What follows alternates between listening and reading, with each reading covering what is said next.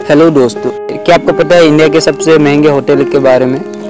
चलिए मैं आपको बताता हूँ। इंडिया का सबसे महँगा होटल का नाम है रामबाग पैलेस, जो कि जयपुर में स्थित है। अगर आप इस होटल में एक रात रुकना चाहते हैं तो आपको लगभग 10 लाख रुपए चुकाने पड़ सकते हैं। क्या आप ये बात पहले जानते थे? अगर नहीं जानते थे तो हमारे चैनल को सब्सक्राइब कर दीजिए। ऐसे और नए इंटरेस्टिंग फैक्ट जानने के लिए। जय हिंद।